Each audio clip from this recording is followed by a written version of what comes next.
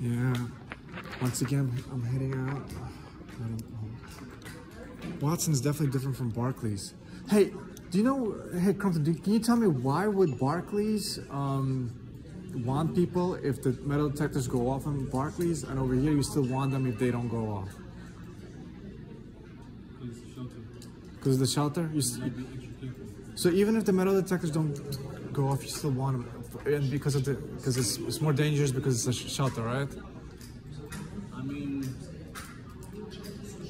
you don't really know who has a mental condition Uh, okay. Easy. All right, cool. Well, next time I know. So even if the metal detectors don't go off, I still want them. Anyway, that that defeats the whole purpose of even having a metal detector.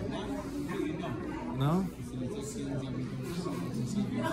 Right, but you anyway. But I'm saying, but you still want them anyway. Anyway, I'm I'm heading out. Then yeah. So that's just weird.